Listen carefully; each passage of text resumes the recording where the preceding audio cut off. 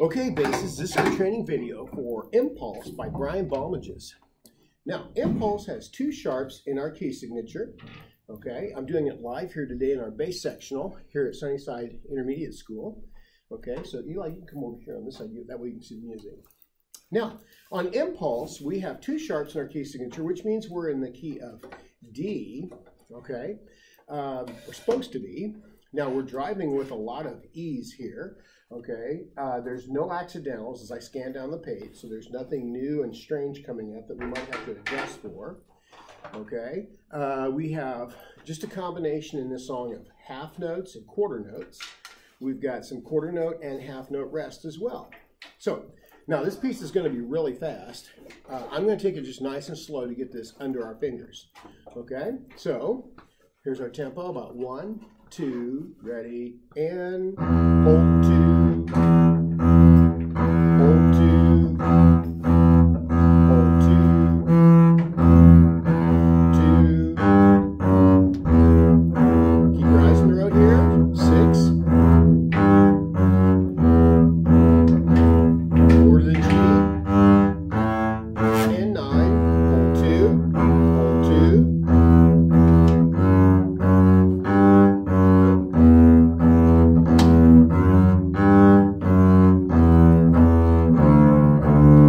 sets a 2,